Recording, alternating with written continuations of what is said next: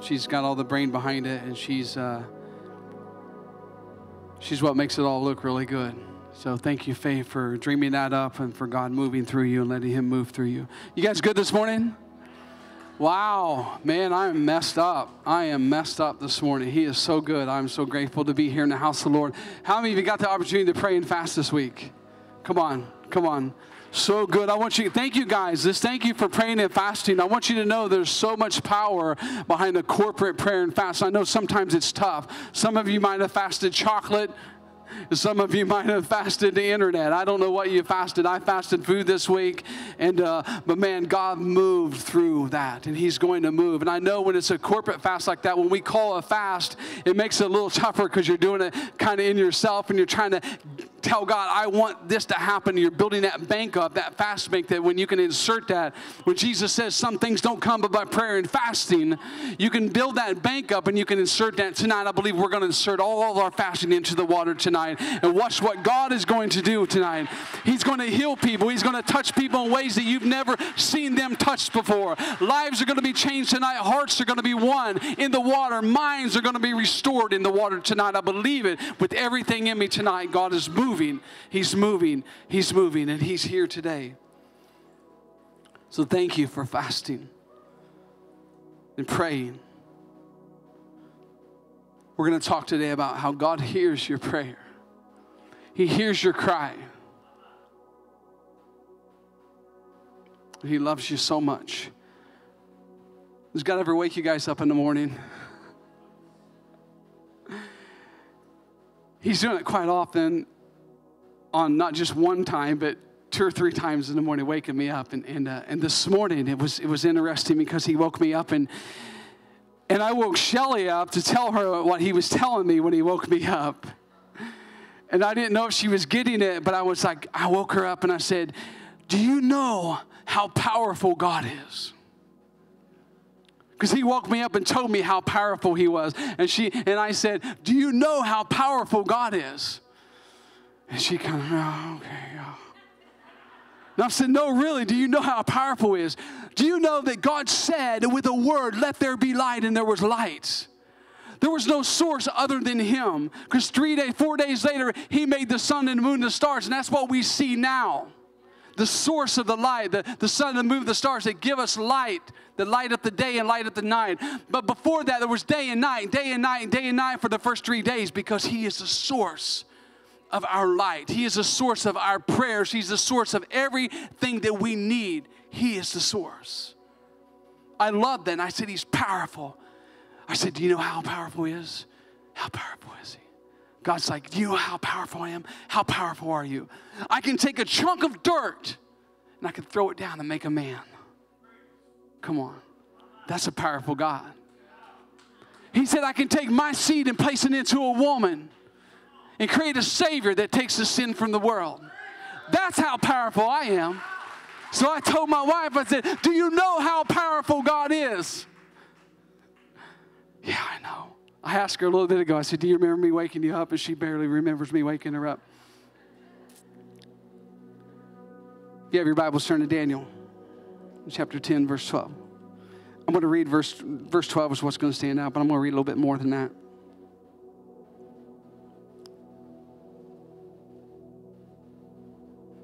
Hallelujah. We'll start at verse 9. Daniel said, And I heard a voice and at the sound of it, I fainted and I fell flat to the ground, face to the dirt. A hand touched me and pulled me to my hands and knees. Daniel, he said, I love this. This is the message translation. Daniel, he said, man of quality. Don't you want to be a man and woman of quality? Listen carefully to this message and get up to your feet and stand to attention. I've been sent to bring you news. Do you know when you pray, after you're done praying, God wants you to stand on the promise that He has for you. Stand on the prayer. Don't waver, don't move from it, don't let the enemy change your heart toward that prayer that you have for Him. And He said this and get up on your feet and stand at attention. Anybody ever been in the military?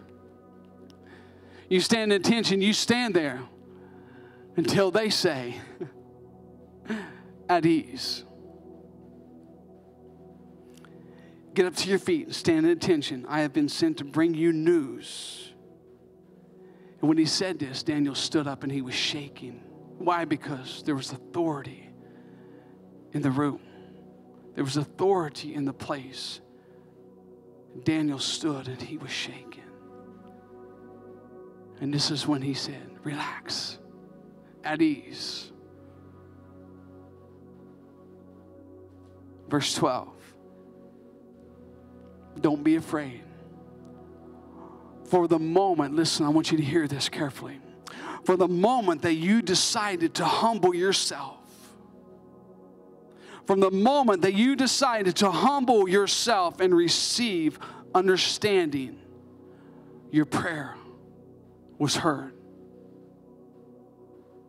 The moment that we humble ourselves and receive the understanding that God has for us, the Word of God has for us, the moment that we humble ourselves and receive this Word,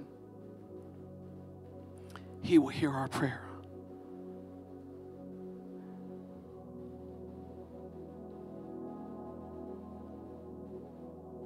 Daniel had been praying for three weeks for God to reveal something to him. For three weeks he had prayed. Sometimes we pray for a day, and if it don't happen, we move on to some other thing. We don't. No, we need to stand on that prayer. If you've got a prayer in your heart and your heart's aligned with God's heart, His heart's desires are going to be your heart's desires. When you pray and when you seek Him and when you glorify Him, watch what happens. Stand strong, stand firm, stand confident in that prayer. He prayed for three weeks. But the story tells what was happening in those three weeks. The messenger was coming and got tripped up a little bit, got waylaid by the enemy. So he called for help. And Michael, a chief angel in heaven, said, no, I'm going to help. And he come down and he helped. And he stayed there and he fought while the messenger came. The messenger comes and he tells him this I'm here to answer your prayer. Three weeks, God answered his prayer. You might have been praying for a month. You might have been praying for a year. You might have been praying for two years. Don't stop. Don't stop. You stand strong when it comes to your children. Don't stop praying. When it comes to your parents, don't stop praying. When it comes to your family members, don't stop praying. Don't give up. Don't give up. Don't give up. I didn't give up.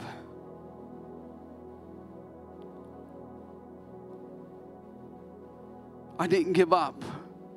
I'm praying for my family and I don't give up and I won't give up. I want to see things in my children that I haven't seen, but God already sees it. We have to know that and trust that. You remember a few weeks back we talked about Peter. Peter's in a dire straight position. He's, he's chained up with both hands chained into prison. We talked about he had these four squads of, of guards on him. They were forward watching. When they would change shift, another forward watching, then another forward, then another forward would watch him. They didn't want him to go anywhere. They were going to kill him. That was the goal. After the Passover, they were going to kill him. But he had a church, he had a people continually praying for him. And in their continual prayer, God heard that prayer. You think he don't hear your prayer, he hears your prayer.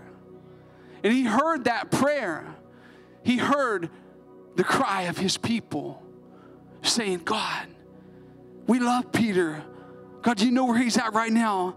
It seems like there's no way. It seems like there's no way. But God, you have a way. You made a way. You've made a way. We've watched you. And they prayed continuously.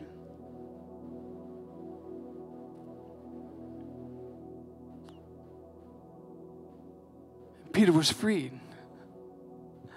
Matter of fact, the angel had to come and kick him to wake him up, get him out of there. He was free to the point he was knocking at the door. Girl come to answer the door, hears his voice and runs to everyone and says, Peter's at the door. They didn't even believe their own prayer was coming true. Peter's at the door. They knock.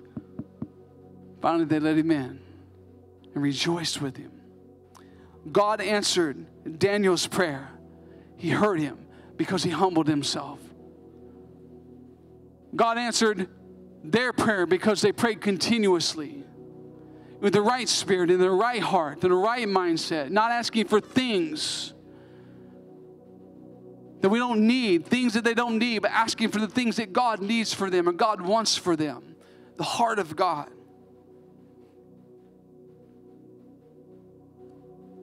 You remember when you were a baby and you cried? Bottle was brought to you. You remember, anybody remember that? Anybody remember being a baby? Look at baby pictures. But you see babies now. There's some babies in the house today. When that baby cries, guess what? Everybody's at attention around that baby. Give it a bottle, give it a pacifier, give a sun, answer that baby's cry. And I remember this ministry when we first started. I was like, God, we need. There it was. God, will you? There it was. God, I, I, I. There it was.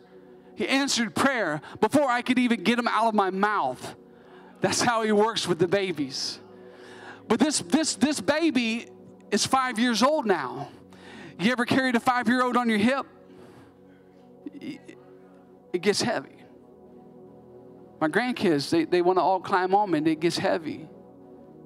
12 of them almost.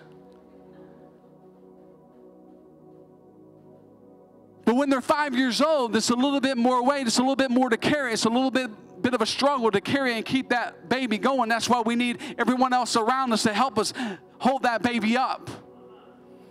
So we can take a break for a minute. So here you go. We're, we're, we're going to take a break. And while you're holding the baby, it's like, man, they've been gone for a while.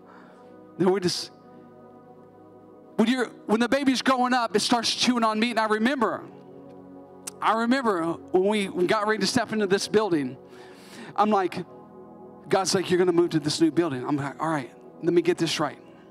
We're going to take the finances that we have over here in 3,800 square feet week to week and we're going to take a building on that's 16,000 square feet with that right there. I'm like, God, I don't even have the money to start. I don't even know where to even start. Are you sure that this is what you want us to do? Yeah, I'm sure. And I said, I don't know. I, I don't think I could sign the contract. And I said, Well, what, how do you want me to do this? Some of you know this, some of you might, but I love this story. And I'll keep telling it. How do you want me to do this? And he said, For the next four weeks, I don't want you to take offering. So here I'm thinking he's saying, hey, we're going to do this big fundraiser. We're going to raise all this money and we're just going to get you in a place that you can just walk into that building. No, he said this. This is where your faith comes in. This is where your trust comes in. He said, no, I, I, I, I, don't, I, don't, I don't want you to take an offering for the next four weeks. I'm like, all right, this is your baby. He said, I just want you to pray for the offering during the offering. So we did. For four weeks, we prayed during the offering. It was great. We had a great time of prayer. The fifth week, five, grace and favor. Shelly and I's favorite number. The fifth week, someone come down and they handed Shelly a check and they said, use this to get started with your ministry. Get started with your new place. And so she walks in the church, and I'm like, thank you. Because we've had money handed to us before to do stuff, and we're like, thank you. You know, we've had $1,000 given to us, and, uh, you know, $5,000 and even $10,000 given to us, and dollars and $2 and $3. It all is good in God's hand, He uses it. And so I walk into the church, and Shelly's in there, and she's crying. I'm like, well, what's wrong? Are you okay? She's like, she was shaking her head. I said, honey, what's wrong? Are you okay? And just head. And she held this piece of this check out. And I grabbed the check and immediately I fell to my knees. And I worshiped God. This young couple with young kids came to this city and wrote us a check. Because, they don't even go to this church. Wrote us a check because they believed in what God was doing. They wrote us a check for $50,000. That's how powerful your God is. That's a God that answers your prayer. But we have to do our part. We have a part in this. Humble yourself in the sight of the Lord, and He will heal your land. You humble yourself and you stand straight up and you stand strong. He will touch your people. He will heal your family. He will heal tonight in the water. I believe it with everything in me. God's going to heal tonight in the water. We're not fighting a battle against each other. We're fighting a battle against the spiritual realm.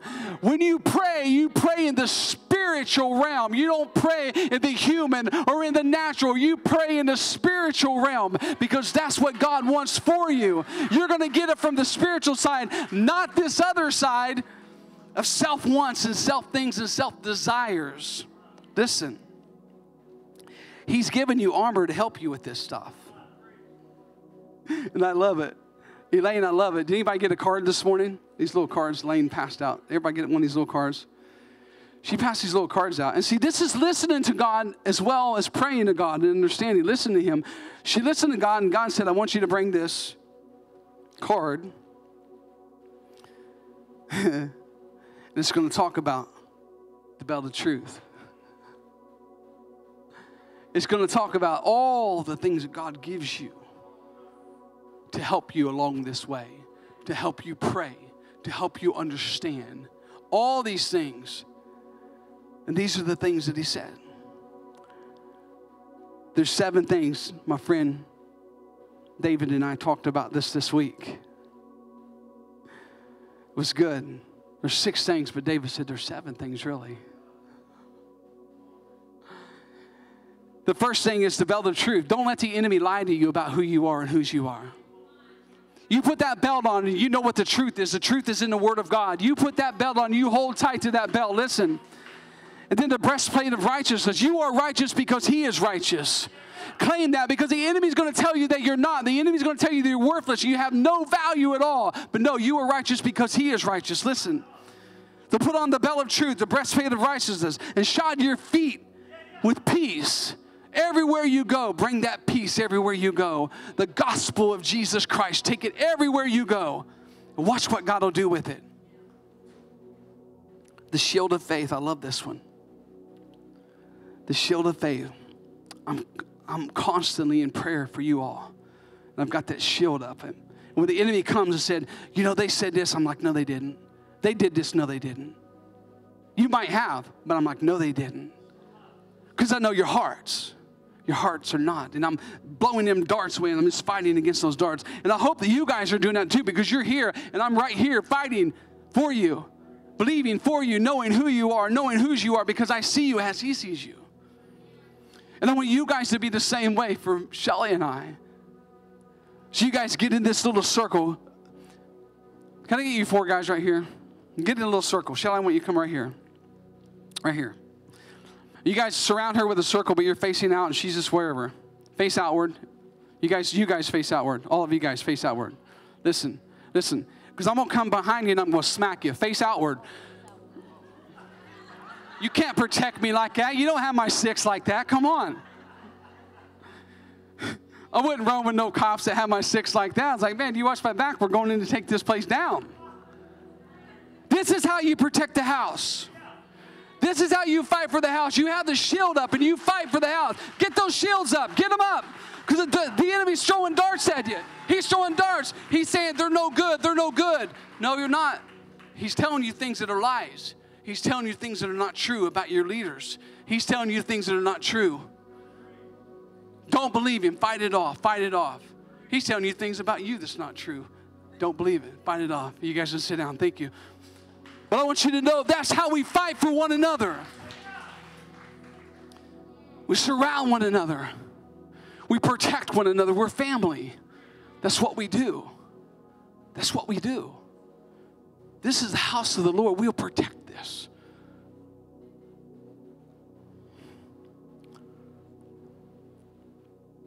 The helmet of salvation. I believe some of you need to get in the water tonight, and this is why. To put on that helmet of salvation, to renew your mind to the things of Christ, to renew your mind, a new mindset that's of Him and not of this world. Renew your mind to the things of God. Put on that helmet of salvation, that re, rebooting, rethinking the way everything is structured, and knowing that heaven has His best for you the sword of the Spirit, the Word of God, slaying every stinking giant that gets in your way. Listen, you can slay every giant with the Word of God. You don't have to badmouth anybody. You give them the Word of God. That's what it's going to take. You don't have to tear them down with your words. Give them the word of God. If they say that they're a Christian, listen, this is dad's book right here. If they say that they're a Christian, they have to follow this and you have to tell them what it says. If they're a child that's walked away, you know, you say that you're you and my dad's the same dad, brother, you better follow this right here because this is the word of God. This is the word of our Father, and this is what he says to do. You can slay so many giants. Listen. It's so good. You guys are awesome. But the seventh thing is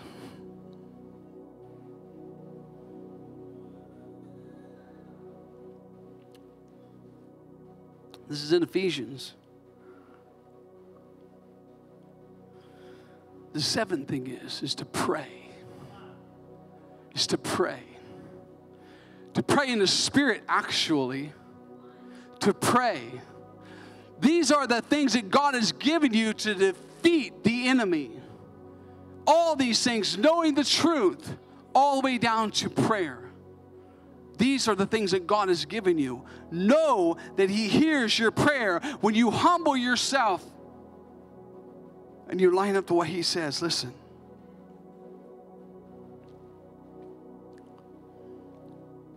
Your Bibles to Isaiah 40. You might get out of here early. Maybe not. Isaiah 40 30. And I want you to know that there are going to be times that you might fall. Okay, listen, I understand that. But the key to that is getting back up. When you fall, the key to that is getting back up without shame, without condemnation, without anything on you from the world. The key is getting back up and standing strong and standing at attention when Jesus walks in the room. Jesus said that He's an advocate for us. If we fall, if we mess up, if we sin, not that we do, but if we do, He's there to help us get back up. He's there to help us walk the walk, get back on track, not take anything on that's not for you. it says, though youths grow weary and tired, and vigorous young men stumble badly, listen, Those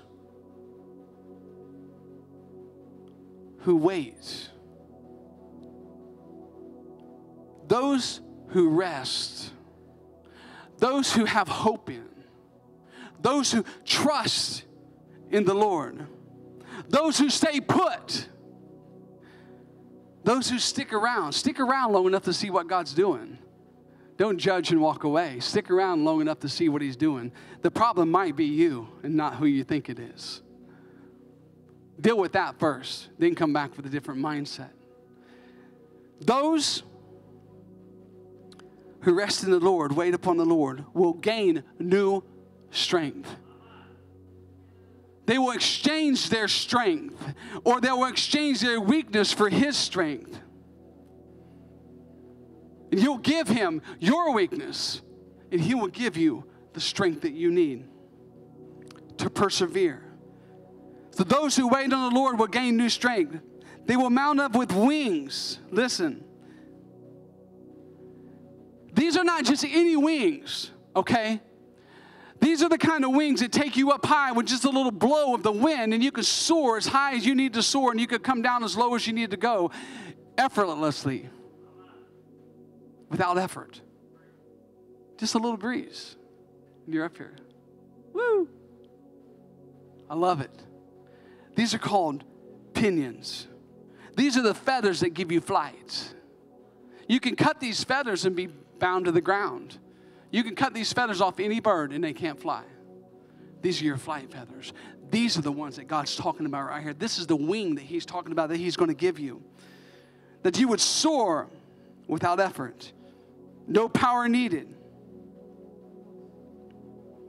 Because there's times we need to go, we need to soar high and get away from the darts of the enemy, and then we come back and minister in the valley, and then we go back up, and we come back down and minister. Watching his moves, watching what he does. Listen. So you're going to mount up with new wings, wings like eagles, and they will run and they will charge, they will charge and not get tired. I get tired. I want this. I want to be able to run and not go weary and not get tired. I want to be able to walk by faith in everything that I do. Those who wait upon the Lord will gain new strength and they will mount up with wings like eagles and they will run and not get tired and they will walk and not grow weary.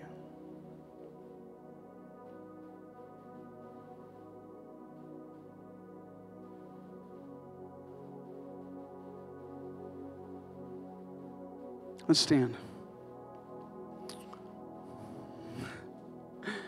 When you're done, you're done. When he's done.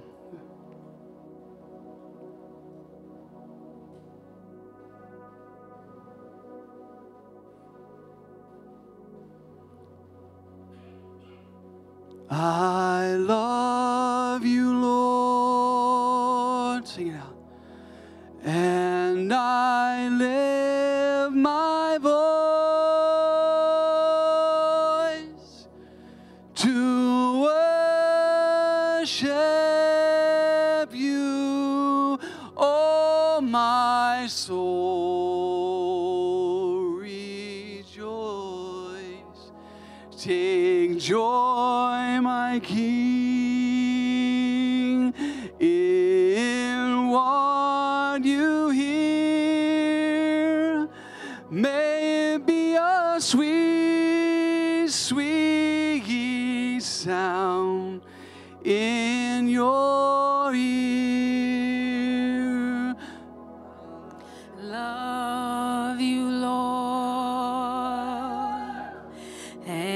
and I lift my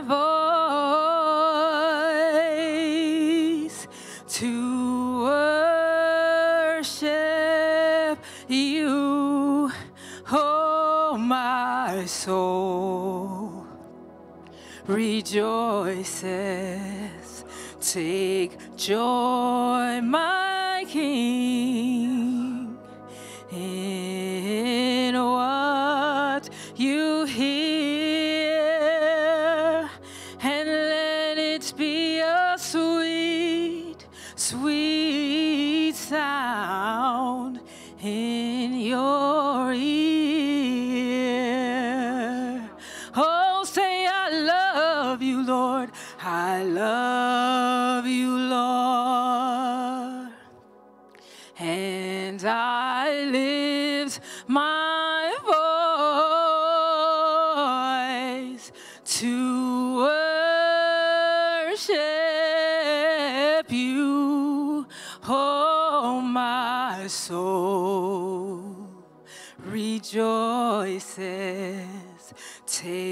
joy, my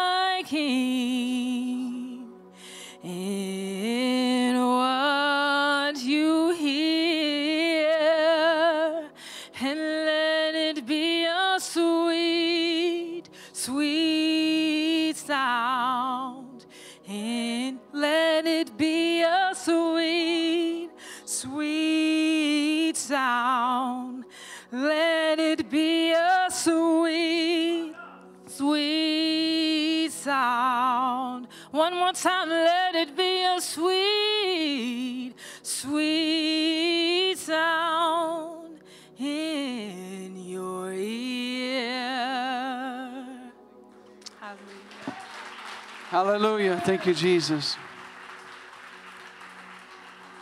Is there anyone in the house today that don't know Jesus as their Lord and Savior? If you don't know him, come forward. Come and get to know this Jesus. He's so valuable. If you're struggling, He hears your cry, He knows your heart. Before you even ask, He knows. I want to bless you guys this morning.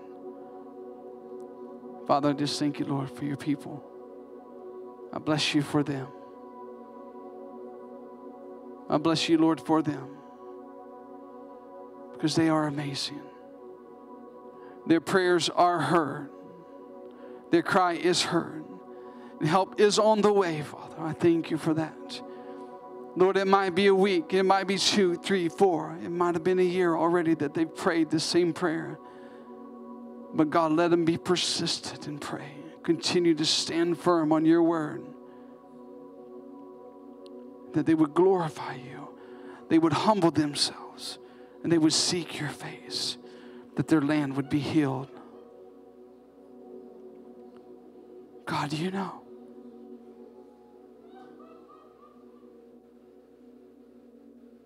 Jesus.